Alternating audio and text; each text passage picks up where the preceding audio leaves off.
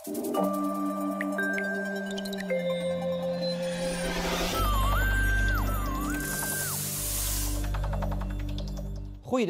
Een jaar geleden konden we de schaatsen onderbinden. Heel ander weer dan uh, ja, vandaag.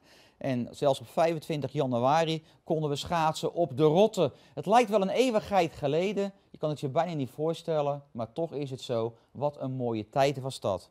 Maar ja, nogmaals, vandaag natuurlijk heel ander weer. Het was mistroostig, het was grijs en grauw, sterk nevelig. Vanochtend zelfs wat regen en motregen. Ja, dan kan je het beste je fiets maar stallen zoals hier zo bij het NS-station eh, in Dordrecht. En verder gaan met de trein of anders met de bus. Ja, dan kom je in ieder geval zeker een heel stuk droger aan op je werk of anders uh, op school.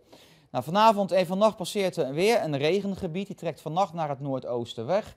Temperaturen zakken naar ongeveer een graad of 4. Aan zee kan er tijdelijk een noordwesten uh, wind komen te staan, een windkracht 6. Dat is een krachtige wind, dus tijdelijk eventjes wat meer wind, maar later in de nacht wordt het alweer een stuk rustiger. Ja, en dan de laatste dag van de werkweek ziet er beter uit dan vandaag. Het wordt allemaal wel wat lichter, zeg maar. Veel bewolking, af en toe kan de zon tevoorschijn komen. Temperaturen komen uit op een graad of 7. Goeree overvlakke misschien wel 8 graden. En de zwakke tot matige wind uit het westen draait in de loop van de dag meer naar het zuiden.